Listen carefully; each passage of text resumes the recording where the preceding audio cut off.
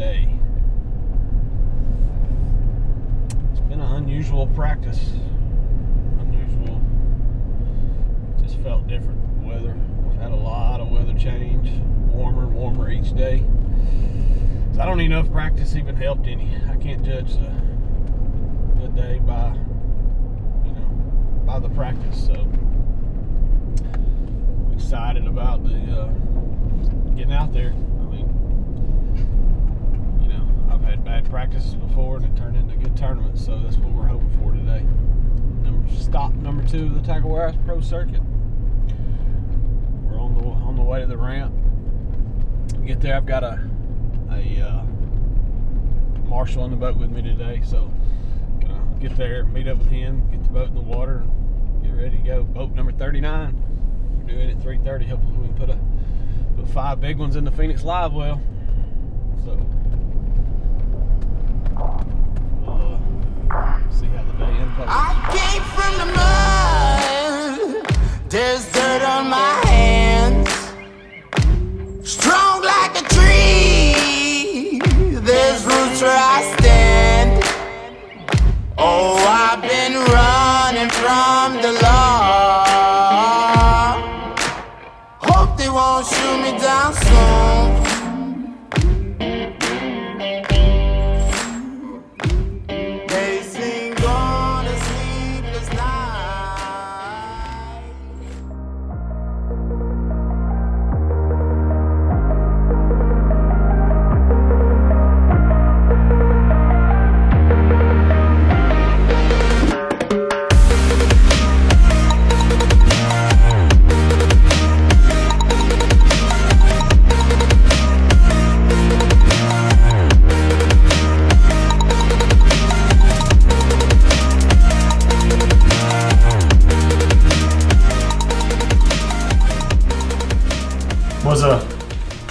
tough ride home. That's a, you know, we finished up 118th in the second stop of the Tackle Warehouse Pro Circuit there at Smith Lake this week. Um, man, it's, it's definitely not the the finish we wanted. Um, you know, I talked about it last event. You know, we, we you know, recovered the last event and didn't have a bomb, but we kind of went backwards on this event. Uh, So uh, we got a lot of ground to make up um, in the next few events to make that championship. We're going to give it all, give it all we got, and um, you know, put our work in, um, study, figure out what we need to do over there at Lake Murray, and try to have a uh, a better event there. Uh, speaking of the Phoenix, I you know I I can't say enough about the Phoenix. You know, we didn't catch many fish, but Smith Lake is a narrow lake, and uh, you know at blast off, there's a lot of boats running down that narrow lake, and it, it gets pretty choppy. Um, but you know the Phoenix handled it super well. Um, like I say, glad I was in a, in a Phoenix this week, um, and outrun a lot of boats this week too. So, um, you know, day one of the tournament, I had two fish that weighed three pounds five ounces. Um, you know, in practice, I just never, I never figured out really the deal to catch those better than average fish. I, you know, I caught one or two of them a day in practice, but never really figured out the deal. I was kind of hoping with the warming weather that um, the bite would pick up. You know, there was a lot of the, those big spotted bass out on those points, and I knew a lot of the guys were going to fish for them and, and were going to catch them, and they were they were big. I mean, when you caught one out of those points, they were three, three and a half, four pound spots. You know, um, and I really thought that was the way because the largemouth hadn't really hadn't really pulled up yet. So I really thought that the spotted bass was going to be the way to go. And man, I just couldn't like the first day of the tournament. I just, you know, I couldn't get I couldn't get them to bite out there. You know, there was a lot of guys jumping around on those points, and I don't know if the pressure had something to do with it or or what. But you know, uh, I caught a lot of fish the first day of the tournament. Just I was only able to manage two of the 15 plus inchers um, that first day. Um, you know, I, I forward facing sonar played a huge role in this tournament. And when, when it ends, the largemouth may win this event. John Cox may win this event or whatever, but a lot of the guys in the top is utilizing the forward facing sonar. Um, and it was a huge player for me. I mean, that's what I did. I got out on those points and and around those docks and looked for those fish and and when when you could see it was it was hard to get one if you just saw one or two on those points it was hard to get them to bite and but um, if you saw like five or six or seven of those fish in a school you could get usually get one of them to bite um, so it, it did play a huge role but one thing I learned about that forward facing sonar this week was you can get get caught up spent wasting a lot of time in a tournament day looking at that sonar. Um, so I still have a lot to learn on on the forward facing sonar and, and how to u- best utilize it and save time during the tournament day. Um, so that's kind of what I did the first day is got out there on those points. Like I said, managed two fish, caught caught a lot of fish. You'll see in the video I, I caught a lot of fish, just a lot of short. And I was really hoping the second day with the warming weather that you know a lot more fish would pull up, be more active, and um, I could get them to bite. Um, and you know, I pulled up on my first or second place the second morning, and um, man, those fish were blowing up on shad. And there was another competitor there within, I don't know, 100 yards of me. And I caught fish after fish after fish, and no keepers. And, and the competitor that was out beside me, um, he was catching the keepers. You know, um, it's just one of those things. I don't know why that happened, but um, you know, it just the way this tournament rolled.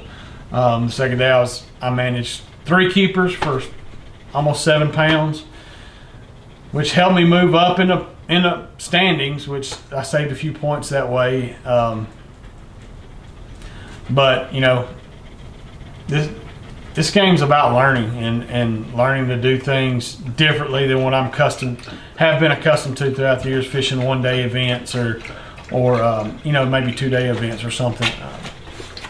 So I'm still learning, and I hope that you know I hope that never never changes. Uh, I hope I'm always continuing to learn and how to think, do things different, maturing as a as an angler and um, getting better with that.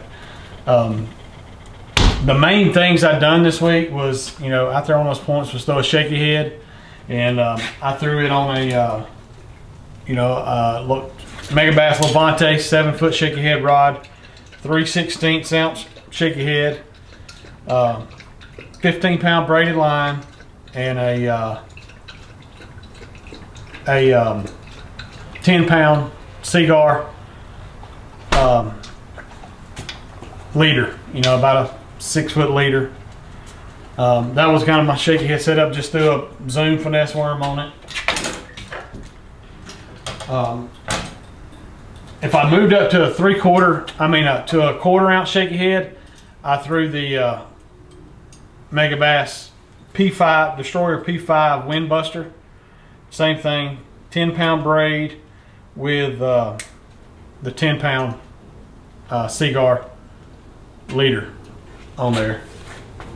Uh, the main deal was though the little little swim bait and uh, this is just a Keitech. I caught some on a um, Megabass Spark Shad as well. This is just a Keitech 3 point, I think it's a 3.3.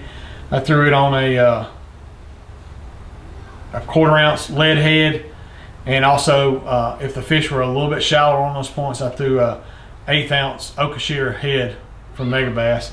And I threw that on the Destroyer Addermine. It's a, like a 6, 611 um, rod. Threw it on a, a Seaguar braid line with a uh, 10 pound test leader. I mean, that's what I caught a lot of fish. I even caught a, I don't know, somewhere between a 25 and 30 pound stripe on that setup. So you don't have to have big line to land big fish. I proved that. We'll put that in the video and show you guys. Um, I also uh, caught a few fish on the on the jerk bait, and I threw that on the, the Destroyer 110 special from Megabass. Just a Chronarch, uh, Shimano Chronarch MG with 10 pound Seaguar InvizX line. And that's just your uh, Megabass Vision 110. Um, best jerk bait made. Then I caught a few a few fish practicing, but I just never got that really dialed in on, on quality fish. Uh, and I threw it on the Megabass uh, double X flat side specials, seven foot rod, great crankbait rod, old Shimano Curado, uh, Curado 200 E5 with a 10 pound Seaguar fluorocarbon line. That's just the Berkley Frittside. Um,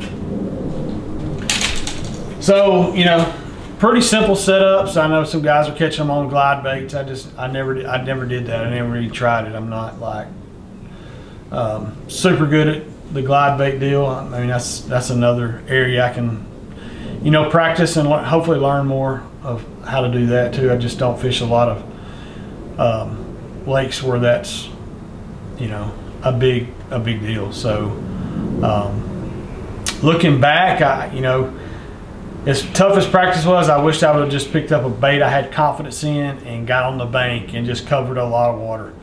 You know, I think like 19 pounds, a little over 19 pounds made the cut to fish today. So roughly nine and three quarter pounds a day.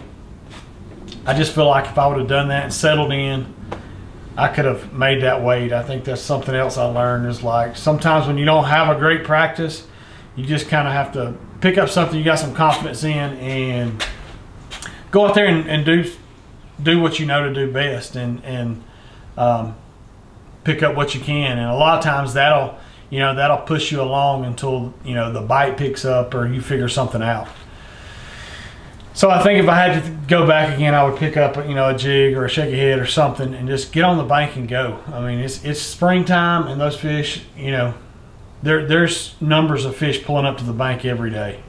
Um, and, it, and, and Smith Lake's going to bust wide open. And it could be today. I haven't seen the results from today, but it, it could be today or it could be tomorrow. And they, they bust really big bags um, in the next couple days. But, you know, we're home and uh, it's good. It's good to be home. Um, we got about two weeks and we got to go back to Smith for the open. Uh, hopefully the bite's going to be better there then. Um, and then we got about I don't know, maybe about a month before we got to be at Murray. And uh, so uh, I got some studying to do on Murray. I have no clue about Murray. I don't know what it's, you know, what it's going to do. It's going to be something around, you know, springtime spawn right in there sometime. Maybe, maybe they're done spawning by then. I don't know. But hopefully go make a, a couple day trip up there and, and pre-practice and um, kind of look at the lay of the lake and, and, uh, maybe figure out something up there and have a better tournament next next month. So, but uh, that's kind of how the how the two days of the tournament went. You know, I wish we were fishing today, but you know, uh, I try not to judge the reason we didn't do well. Just look at it, see where I can improve as an angler, and uh, get back after it. Uh, dust our dust our pants off and get back up and go after it. And that's what we're going to do. Um, like I said before, our tagline this year is "Have faith and grind." And when you have a bad when you have a bad tournament, and um, you know it's you know you want to stay down, but you don't have time to stay down. You got you got to get up and get back after it. And I don't have any quit in me, so we're gonna we're gonna get back after it and uh, get ready for Murray and in the next Open at Smith Lake in two weeks.